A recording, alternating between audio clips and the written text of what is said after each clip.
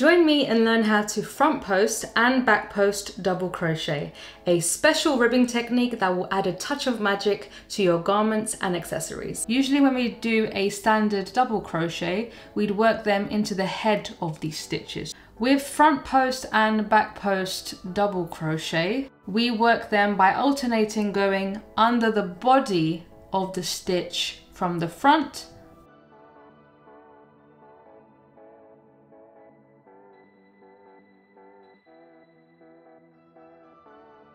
and we need to go under the body of the next stitch from the back side.